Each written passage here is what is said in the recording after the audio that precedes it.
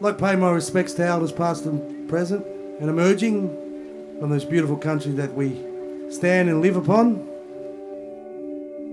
Today, known as Australia Day, also known as Invasion Day, Australia Day has an extremely traumatic history for Aboriginal people. Our culture was impacted to near cultural extinction. We are reviving our beautiful culture and paying our respects to our ancestors before us. So please take a moment to reflect on Aboriginal history and its impacts on Aboriginal people for today. There's 700 different species of gum, and they're all different.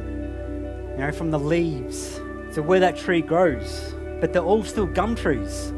It's saying that yes, we are different, we look different, talk different, think different, but deep down inside, we're all the same.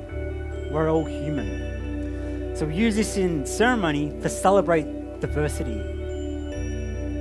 Because I believe, you know, diversity is what makes us who we are. Having an event today is really important to recognise Australia's history and past and to acknowledge what our First Nations people have gone through and I think it's wonderful that the City of Glen Eira have put together this event where we can come together and as a community be together. It's about uh, cleaning, cleansing, and when it's done right, the rain always comes for a few minutes and just washes the land. Um, as a teacher, I think the future generations and that need to know as much as they can about history of Australia so they can come up with their own sort of mindset about it and how really it should be uh, celebrated.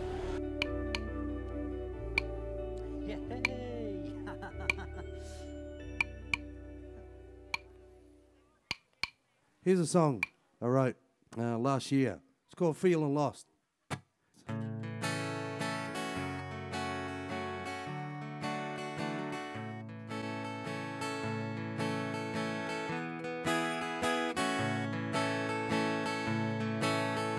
Hello, old friends, where have you been? I think these events will really lead the way forward for more healing and unity for us as a nation. Being with country, being in communication with country, connecting, and all healing together. Hey, thank you, ladies and gentlemen. Hey, and thanks for listening to my stories and my songs, eh?